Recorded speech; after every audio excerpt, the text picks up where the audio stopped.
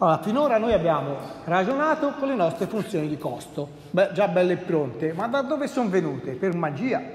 Allora, ora, in questa breve lezione, vediamo come nella microeconomia si trovano le funzioni di costo. Allora, ora dei concetti molto semplici. La funzione di produzione. Ok? Questa è una super semplificazione che noi, che noi economisti facciamo. Praticamente è questa roba qui. Cosa c'è scritto? Q è uguale a funzione L, K e i vari fattori produttivi. In cucina cosa corrisponderebbe? Agli ingredienti. No? L'elenco degli ingredienti, le dosi e la proporzione tra gli ingredienti. Ma chiaramente sapete che per cucinare un dolce, la pizza, qualcosa, gli ingredienti non bastano vero? Ci vuole la descrizione del processo, l'organizzazione aziendale, cioè invece noi economisti non diamo la ricetta, va bene? Mettiamo solo la lista degli ingredienti e come si devono combinare tra loro. Diciamo semplicemente che se noi combiniamo L, cosa vorrà, vorrà dire? Lavoro, K, capitale, R, le risorse e altri fattori produttivi. Noi li possiamo combinare insieme in qualche maniera e otteniamo una certa quantità Q. Poi qual è l'idea? Che noi l'idea possiamo o usare molto eh, il rastrello o il, fa- o il, eh, il falciaerba, il, il frullino, va bene? E quindi noi possiamo usare ad esempio tanto capitale o tanto lavoro. E possiamo produrre però la stessa quantità, chiaramente in un caso lavoriamo tanto, in un altro caso usiamo di più l'elettricità e una macchina. Okay? Quindi l'idea è semplicemente che ho una relazione tecnica, x1, x2, x3 saranno i fattori produttivi e quindi la quantità che io produco è determinata dalla combinazione di fattori produttivi. C'è scritto quantità massima, è chiaro perché se io ho una certa quantità di fattori produttivi posso sprecarne un po', quindi posso produrne anche meno. Quindi quando si interna in funzioni di produzione dice qual è la massima possibile se tu fai a modo il dolce. Quindi Q è la quantità di output, quello che esce fuori, e X sono le quantità di input. Siamo? Primo punto, funzione di produzione. Questa è la, è la rappresentazione, no, una relazione tecnica. F di K, eccetera. Secondo concetto, i rendimenti di scala, adesso sono molto importanti, no? anche soprattutto nella logistica, ovvero Cosa c'è scritto? Ipotizziamo di variare nella stessa proporzione gli input. Equiproporzionale aumento equiproporzionale degli input. Mm? In cucina cosa succede normalmente? Se voi raddoppiate la quantità di lievito, di farina, di sale, di acqua, si raddoppia la quantità e il pane. Mm? C'è il problema un po' del forno, perché dovreste avere anche due forni, no? perché se fate una grande quantità che sta in un forno eh, con due colonne. E quindi, vedete, equiproporzionale, quelli si chiamano rendimenti costanti di scala. Raddoppiamo i fattori produttivi, raddoppia l'output. I rendimenti di scala sono decrescenti se raddoppiando i fattori produttivi otteniamo meno del doppio del prodotto. I rendimenti di scala si dicono crescenti se raddoppiando i fattori produttivi otteniamo più del doppio. Il caso dei container è un classico, oppure delle navi, perché noi per, per costruire una nave che è più voluminosa eh, o un container più grande no? e, e, voi pensate alla quantità di ferro che dovete usare, eh? la quantità di ferro per ottenere un container che ha un volume doppio è meno del doppio, eh? perché lì noi stiamo nello spazio in 3D. Okay, ci sono tanti fenomeni per i quali raddoppiare la dimensione porta a un eh, aumento più che proporzionale dell'output. Ok? Questo è l'altro concetto che bisogna sapere. La scala è zoom in, zoom out, quando cambia la scala, quando cambia la dimensione. Crescenti, costanti e decrescenti. Oh, ora qui croce delizia degli studenti. Cosa ho scritto? Lambda, funzione. Allora io ho la funzione, immaginate che è una funzione del capitale del lavoro. Io prendo il capitale e lo moltiplico per lambda, dove lambda lo, lo prendo no? maggiore, ad esempio, maggiore di 1. Cosa vuol dire? Per esempio 2. Io ho f, poi a sinistra, a destra invece che cosa ho?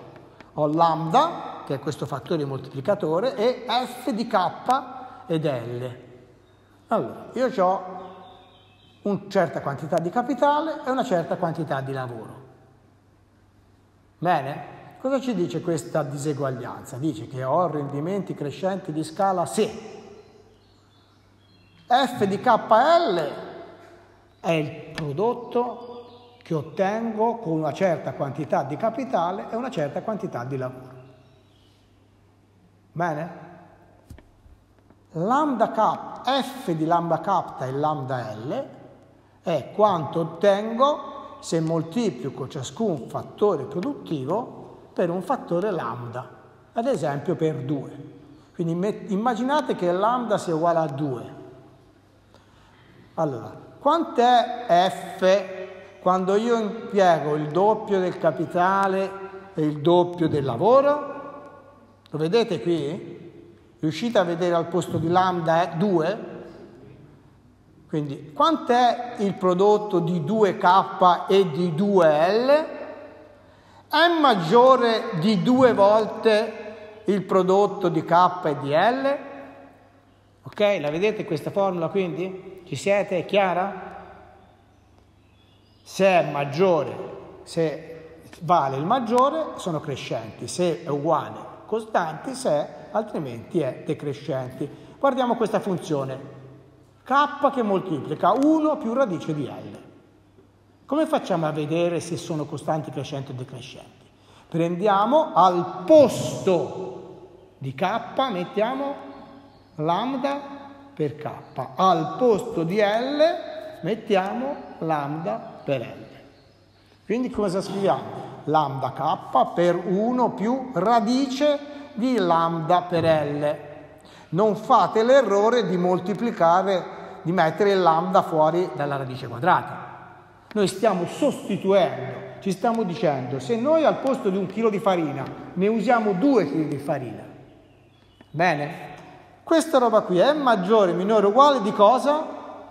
Di k per 1 più radice di, la, di, di L moltiplicato per, per lambda, va bene? Questo lambda volte di il, i dolci che facevo con la ricetta originale. Bene, e questo noi lo possiamo svolgere a questo punto, perché possiamo radice di lambda per L uguale alla radice di lambda per la radice di L, e allora vedete quale sarà più grande considerato che lambda è maggiore di 1. Lambda k è uguale a lambda k. Però la parte 1 è uguale a 1 e radice di lambda per radice di L è maggiore di radice di L.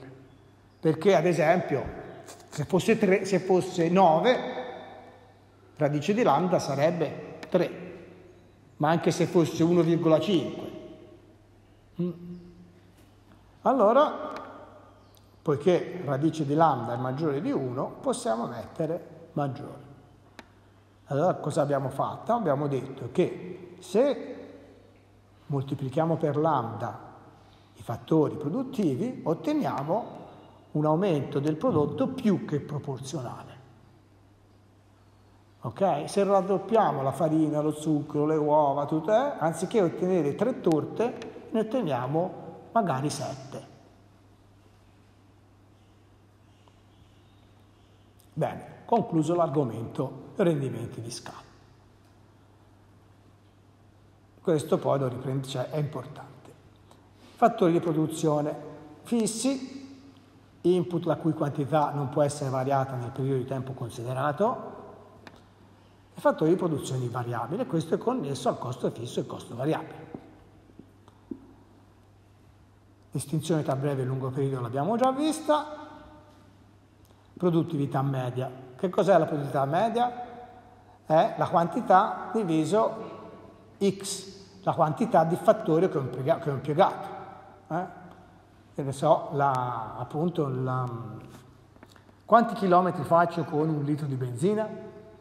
Eh? Quanta terra aro con 10 litri di gasolio agricolo col trattore? E quindi possiamo avere, come abbiamo il costo marginale, possiamo avere il prodotto marginale.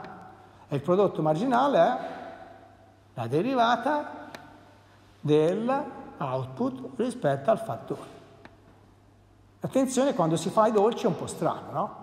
Perché se voi fate i dolci e aumentate di 100 grammi la farina, voi cosa succede? Niente, non è che aumentate il numero di torte quello si dice funzione di produzione a coefficienti fissi. Ok? Non è che oppure mm, se voi avete 10 scarpe destre e 10 sinistre dello stesso numero e avete una scarpa sinistra in più, il numero di scarpe che potete vendere è sempre lo stesso. Non è che è aumentato perché è aumentato la scarpa destra o aumentata la scarpa sinistra. Ok? Quindi questo è il prodotto marginale. Il prodotto marginale è la derivata parziale della quantità rispetto al fattore. Cosa succede se io lavoro un'ora in più? Cosa succede se io uso un po' più di elettricità? Una unità di elettricità in più. L'idea è che è la legge della produttività marginale decrescente, che a un certo punto uno quando lavora si stanca e alla quindicesima ora di lavoro rende meno piuttosto che all'ottava. Quale sarà mai la relazione tra produzione totale, produttività media e marginale? La solita che abbiamo già visto. Se il prodotto totale, ad esempio, fa così, e il prodotto, ok? Da questo noi possiamo ricavare, e questo è il prodotto medio, no scusate, il prodotto marginale, evidentemente questo è il prodotto medio. Vedete, in questo caso nel punto di massimo, sempre per sempre lo stesso discorso della media ok?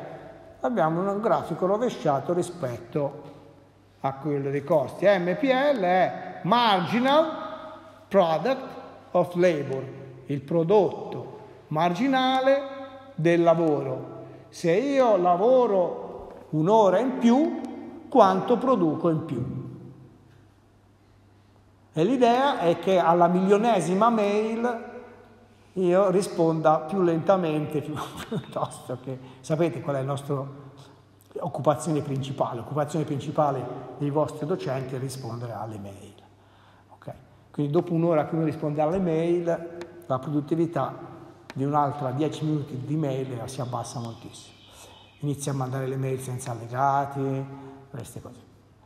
Oppure a invitare le persone senza dirgli il giorno in cui devono venire a fare la conferenza quindi i costi di produzione, da cosa dipendono i costi di produzione? Dalla produttività dei fattori e dal prezzo dei fattori, no? Quanta benzina mi serve? Se io ho il trattore super efficiente mi serve poca benzina, se invece ho il trattore che non è tanto efficiente mi serve tanta benzina, eccetera. Quindi cose ovvie. Quindi il costo totale dipenderà dall'output. Costo totale, abbiamo detto, TC, tutte ripetizioni, costo fisso, costo variabile, costo totale, costo fisso e abbiamo ripetuto. Vado avanti, veloce, veloce, veloce. Costo fisso, costo variabile medio, costo fisso medio, costo marginale, tutti i costi marginali. La relazione tra costo totale costo marginale e medio, non vedete l'ora che ve la rispiego per la ottocentesima volta. Bene?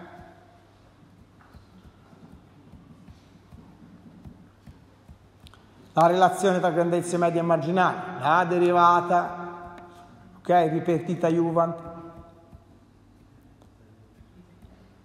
Bene? Quando le grandezze marginali sono maggiori che le medie, la media è crescente. O. Allora, immaginiamo di avere una funzione, ora ricaviamo la funzione del costo. Immaginiamo di avere due input variabili, capitale e lavoro. Qui potete scrivere se volete. Allora, se volete, eh, non è obbligatorio, però finora era ripasso. Allora, Q0 eh, fissiamo un certo livello di produzione, vogliamo produrre 6 kg di pane. Per produrre 6 kg di pane serve una certa quantità di lavoro e una certa quantità di capitale. Ma io posso avere l'impastatrice o impastare a mano. Quindi 6 kg di pane li posso produrre, se volete potete scrivere, ma non è obbligatorio, eh. posso produrre, posso metterci tante ore a impastare la pasta oppure usare l'impastatrice e ottengo sempre 6 kg di pane. Ci siamo? Qual è il concetto? Che possiamo usare diverse combinazioni di fattori produttivi per produrre la stessa quantità. Questo si, si può rappresentare e sono gli isoquanti. Isoquanti significa la stessa quantità. Cosa sono le isobare? Delle previsioni del tempo, lungo le isobare c'è sempre la stessa pressione. Cosa sono le curve altimetriche?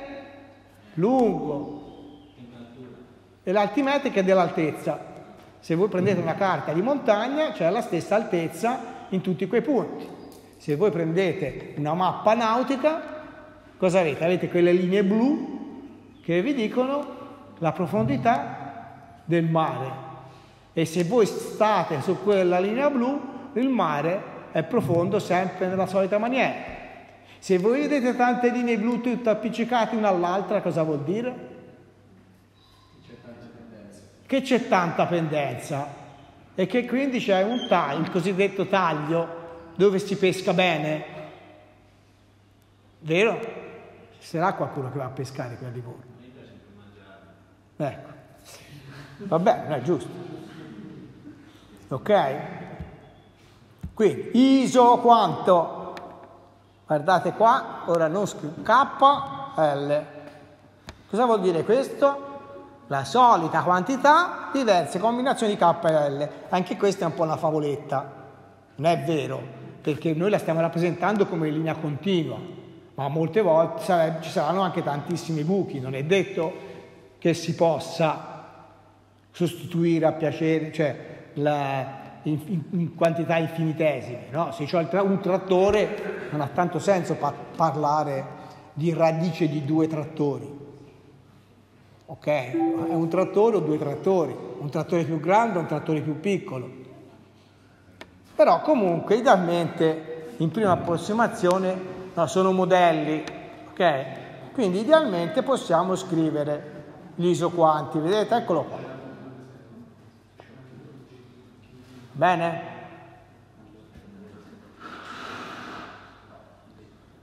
Le combinazioni di input, ovvero di fattori, che permettono di ottenere la stessa quantità di output. La mappa degli isoquanti. Ok? Cosa vuol dire? Più alti sono e maggiore è la quantità. Perché? Perché quello, questo qua, l'isoquanto di sopra, consente di produrre di più dell'isoquanto di sotto? Perché normalmente si immagina che se io metto più, più, più tutto di tutto, immagino che io riesco a produrre una quantità maggiore.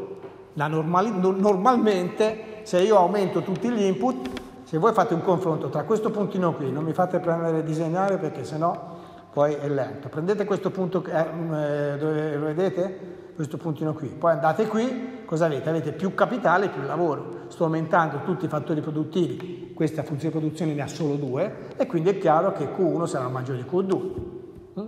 Quindi più si va in su, e maggiore la quantità. Che cos'è questa? Che ho disegnato, è la pendenza in un punto. Che cosa ci dice la pendenza in un punto? È la derivata, no? Come varia cosa? Il capitale se L varia di una unità. È questa cosa che abbiamo scritto, la prendiamo in valore assoluto che scrivo ora. La variazione di k rispetto alla variazione di L, questo l'ho messo in termini di derivata. Quindi se L varia di un epsilon piccolissimo, di quanto aumenta, cioè di quanto si riduce in questo caso K? Questo si chiama da da da, saggio marginale di sostituzione tecnica. Cioè ci dice che cosa? Se io lavoro un'ora di meno, un minuto di meno, di quanto devo aumentare l'utilizzo di chat GPT per produrre la stessa quantità? Sempre il solito discorso, il significato della frazione. Ok? Quindi io voglio andare un gocciolino, oppure se io lavoro un'ora, un minuto in più e mi sposto sulla destra, di quanto posso ridurre l'utilizzo della macchina? Saggio marginale di sostituzione tecnica. Se qui c'è K e qui c'è L, ci dice quanto, capi, quanto, capitale, quanto cambia il capitale se L cambia di un epsilon, di una unità piccolissima. Se io invece avessi L qui e K qui, invertiti, ci direbbe di quanto deve cambiare il lavoro per, per, a fronte di un cambiamento unitario del capitale. Saggio marginale di sostituzione tecnica che sul vostro libro si chiama MRTS, Marginal Rate of Technical Substitution. Marginal Rate of Technical Substitution, MRS, MRTS. Perché c'è technical? Perché è una relazione tecnica non è una cosa a piacere, a gusto. Di quanto deve aumentare la quantità utilizzata di un input nel caso di una riduzione unitaria della quantità utilizzata dell'altro input se si vuole mantenere costante il livello di produzione. Io voglio produrre 6 kg di pane. Se compro l'impastatrice, di quanto si riduce le ore di, di lavoro per produrre 6 kg di pane? Bene?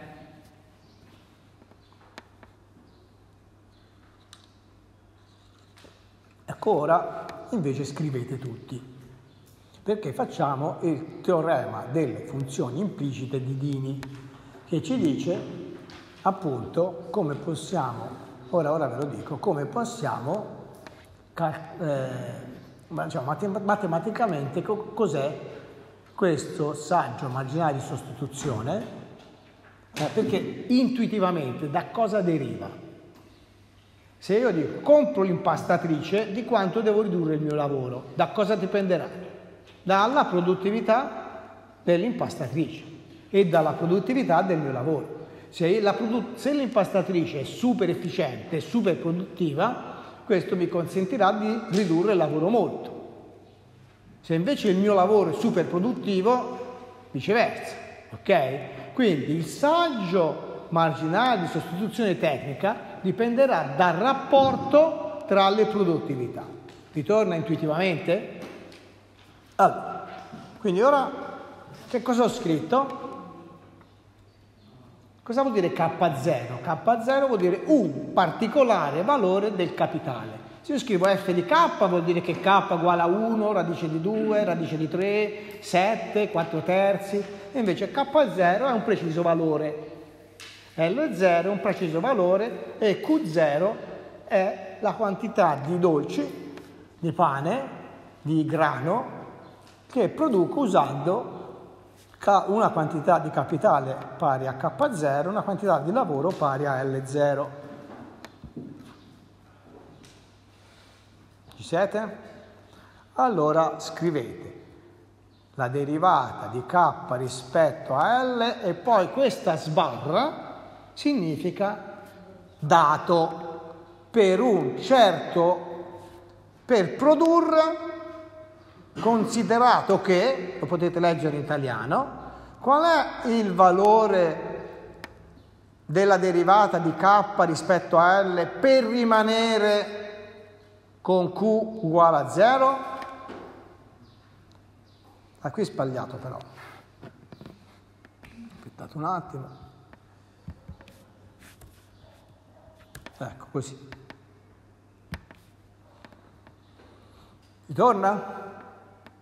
Di quanto devo cambiare? Guardate la lavagna. Di quanto devo cambiare il numeratore K? Se io voglio cambiare il denominatore L e mantenere la funzione di KL uguale a Q0 e continuare a produrre 6 kg di pane con le nuove quantità? Bene? Questa roba qui è uguale a La sapete leggere questa? Avete capito come si legge? La derivata del capitale rispetto al lavoro, al lavoro considerato che f di KL deve continuare a dare Q0. E sarà un, un, valore diverso, non è più K0 L0, per questo era sbagliato, ce l'ho levati. Prima c'era scritto K0 L0, no, eh, dato che la nuova combinazione deve continuare a dare Q0. Ci siete? No, sono tutti... Ah, giusto, è sbagliato. Va, cambiamolo anche lì, non mi ricordo. Bravo, grazie. Q. Oppure cambiamolo qua, Q.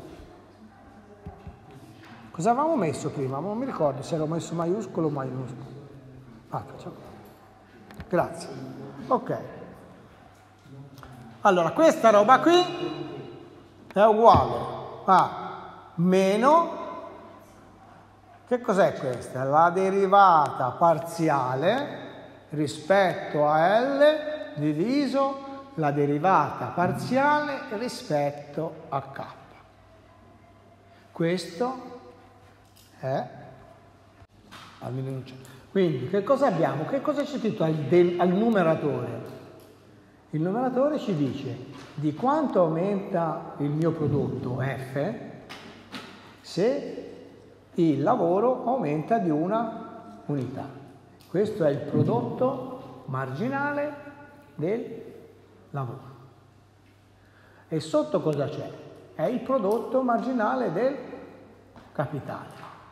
Di quanto aumenta il prodotto se il capitale aumenta di una unità infinitesima in questo caso, perché c'è la derivata. Allora che cosa ci dice? Vedete, perché è importante? Immaginate no, che pro, il prodotto marginale del, lavoro, del capitale sia molto alto.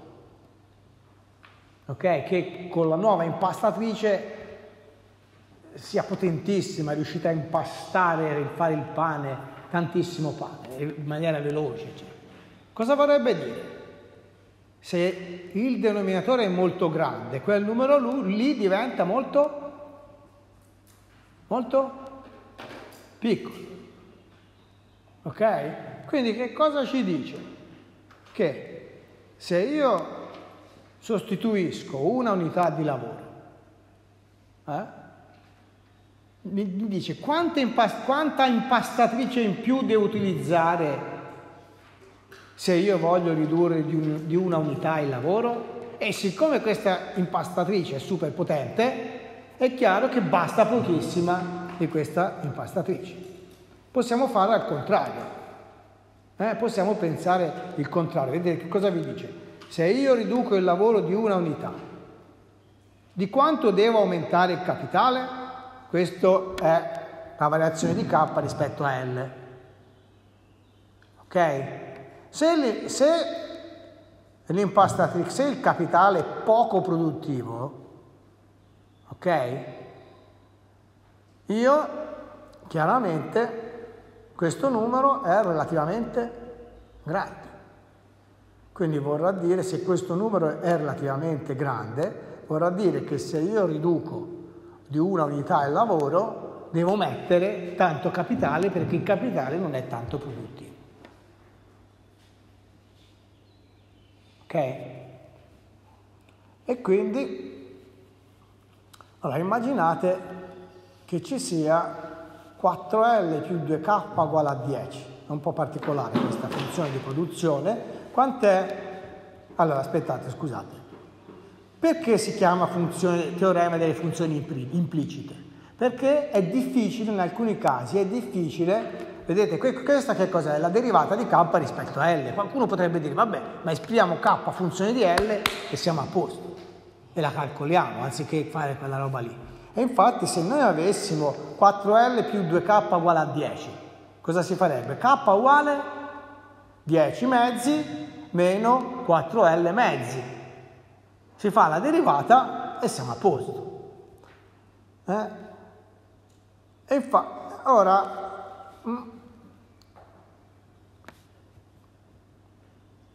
Beh, quindi, se noi facciamo, ora usiamo invece la formula di Dini, eh, che era, quant'è la derivata di f rispetto a L? 4. Quant'è la derivata di, f rispetto a k? 2. Meno 4 mezzi, la, la, la la derivata di k rispetto a L è 2. Cioè se noi aumentiamo, se noi vogliamo ridurre un'ora di lavoro, dobbiamo sostituirla con due unità di capitale. Bene? Noi potremmo invece esplicitare. Se noi esplicitiamo otteniamo k è uguale a 5 meno 2L. Quant'è la derivata di k rispetto a L? meno 2. Quindi in questi casi facili si può anche esplicitare. Negli altri casi invece è più comodo usare ah, il rapporto tra le produttività marginali. Allora, quindi in valore assoluto, quindi se noi lo prendiamo in valore assoluto, è uguale al rapporto tra le produttività marginali dei due input e questo è abbastanza normale, no? Ok, quindi questo ci dice la pendenza dell'ISO quanto, cioè ci dice quanto vale questa pendenza qui. Ah, sono andato troppo indietro.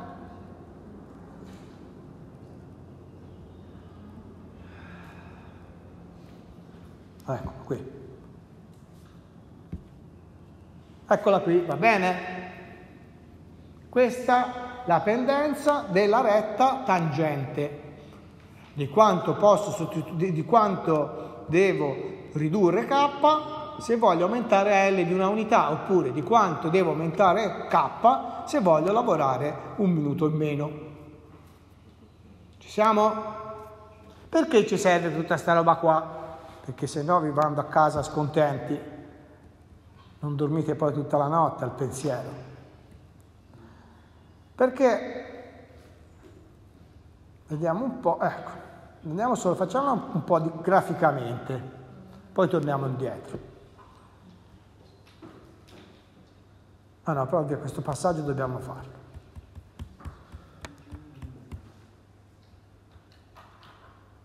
Quindi l'altro pezzettino del puzzle è il costo totale, costo, non la funzione di costo, il costo la spesa, se volete, quando ho due input variabili.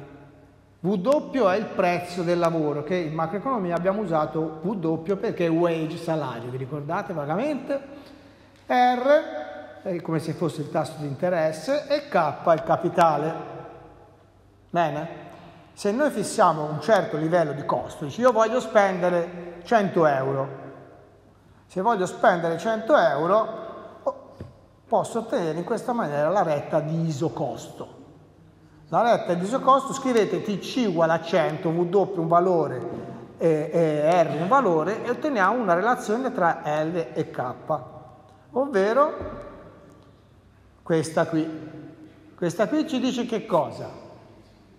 Le combinazioni di capitale e di lavoro che dato un prezzo W e un prezzo R mi danno lo stesso costo. Ci siete?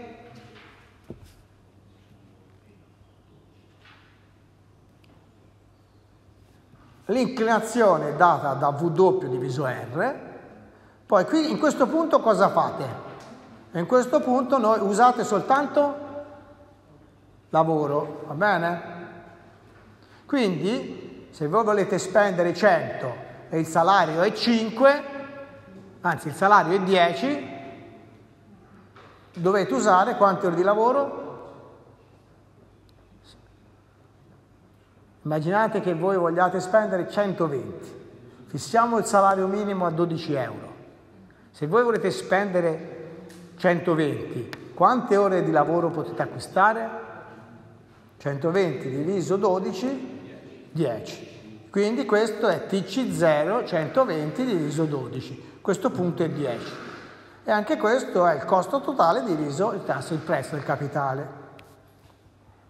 E il rapporto è dato da W diviso R. Voi dovete fare qui K uguale a TC meno VL diviso R. Allora voi potete fare la mappa degli isocosti. Cos'è la mappa degli isocosti? Uguale alla mappa degli isoquanti, solo che qui sono gli isocosti. Eh? Qui volete spendere 120, qui 150, qui 180. Più andate lontano dall'origine, più spendete.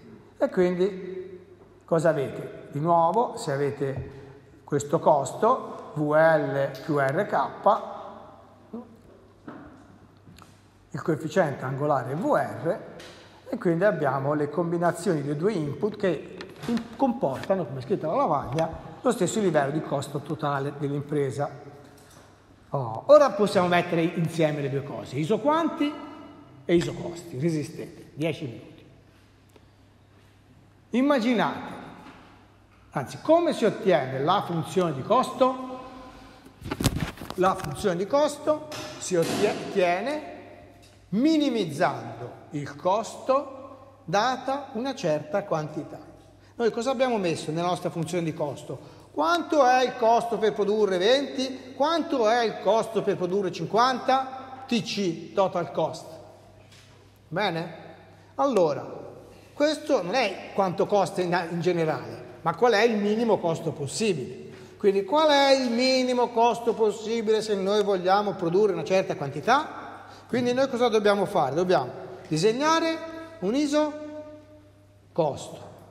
Questa è la quantità che vogliamo produrre. Vogliamo produrre 800 paia di scarpe. Come possiamo produrre queste 800 paia di scarpe? Usando quantità variabili di capitale e di lavoro. E noi però vogliamo produrre queste scarpe al minimo costo possibile. Quindi questa è una minimizziamo il costo dato questo vincolo. Questo è il nostro vincolo, 800 paia di scarpe. Ok? Allora facciamo delle prove. Immaginiamo di scegliere questa combinazione, questo puntino, di comprare Sì, un isoquanto. Scusate, iso, isoquanto. Allora, immaginiamo che io assuma pochi operai e invece acquisti un botto di capitale. Va bene? Questo è quello che dice questo puntino. Tanto capitale e poco lavoro. Un, un impianto super automatizzato, eccetera. Poi vado a vedere a disegnare l'isocosto. L'isocosto dipende dal prezzo relativo del lavoro e del capitale. E immaginate che l'isocosto sia questo. Domanda. È possibile produrre la quantità 800 paia di scarpe corrispondente all'isoquanto verde a un costo più basso? Cambiando, scegliendo, scegliendo un'altra combinazione produttiva?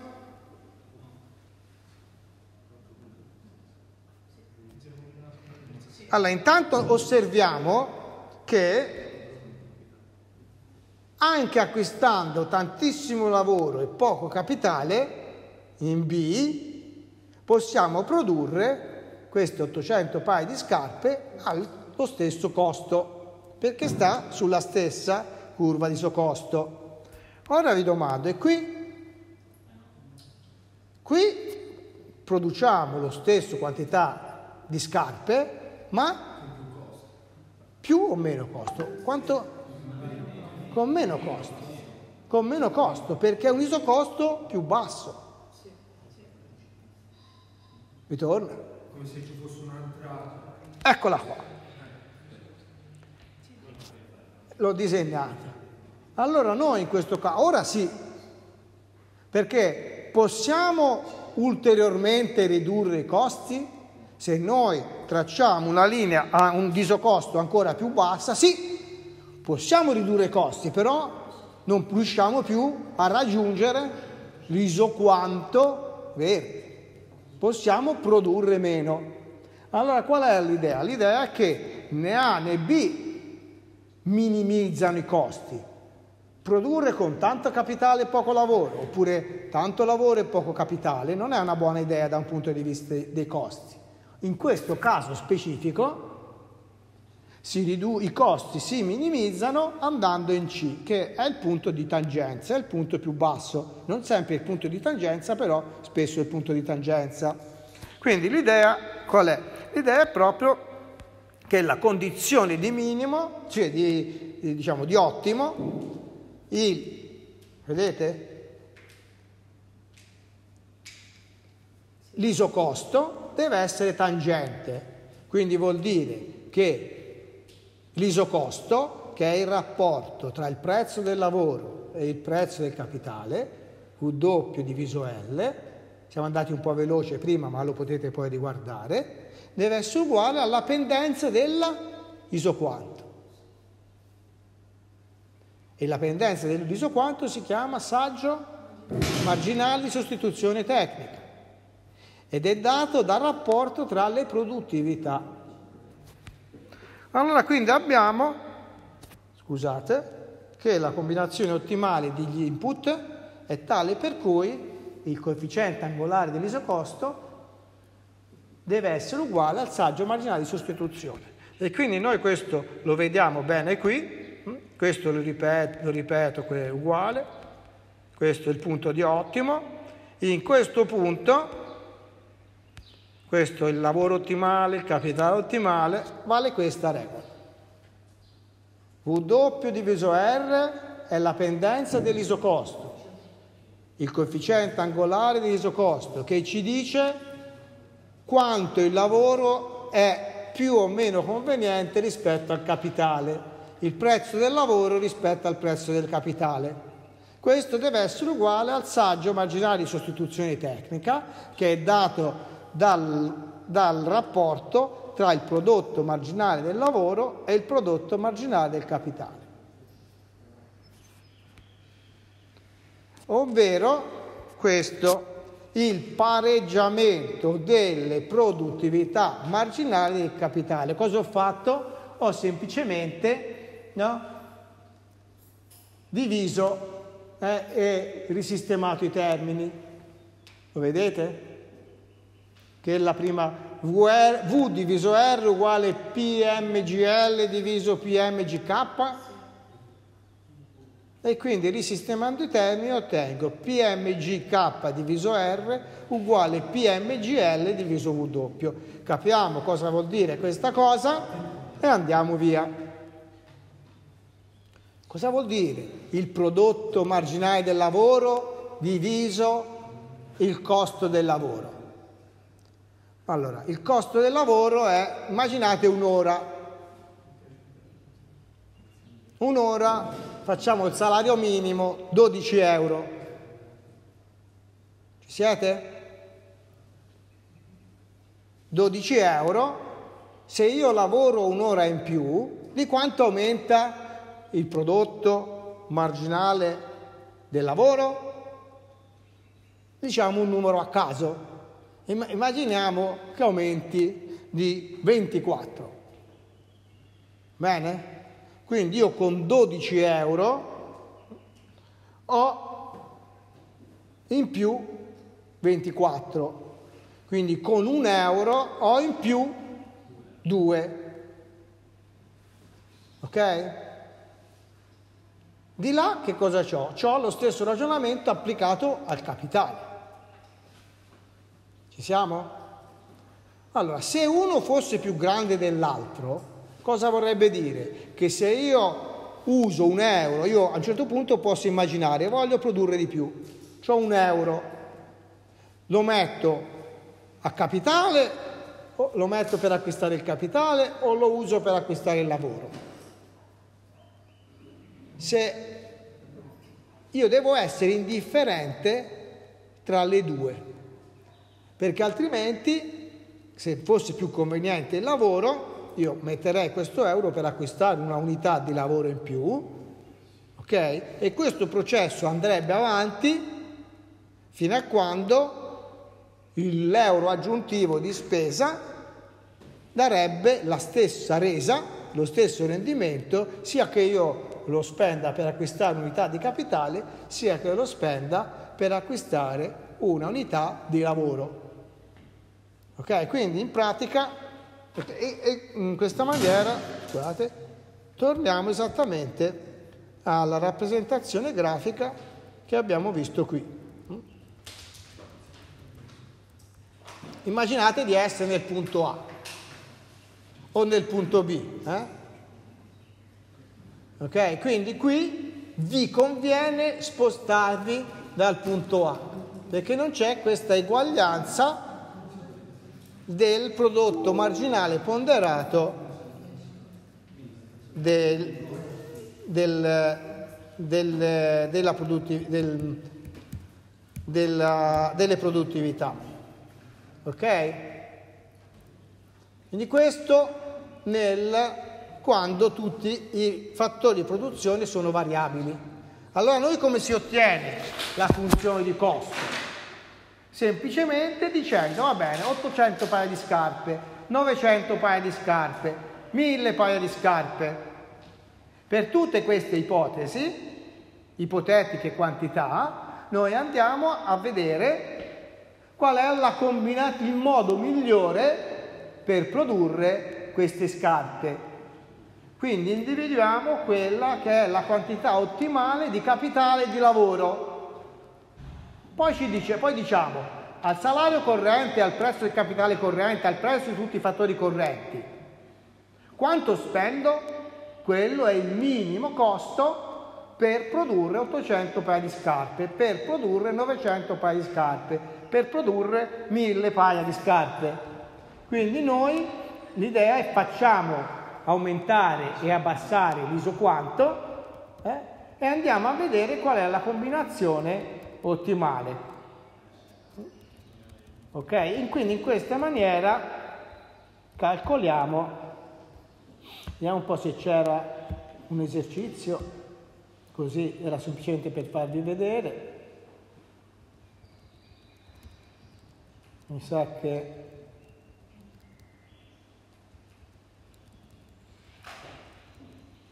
eh, guardiamo rapidamente questo e poi andiamo via.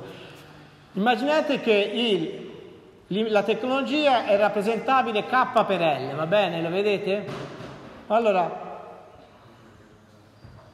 noi cosa dobbiamo avere? Che il saggio marginale di sostituzione tecnica deve essere uguale al rapporto tra i prezzi dei fattori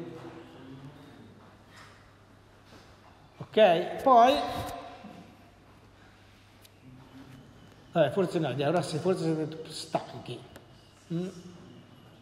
Vabbè, lo guardiamo poi meglio la prossima volta, però l'importante è che voi abbiate capito l'idea.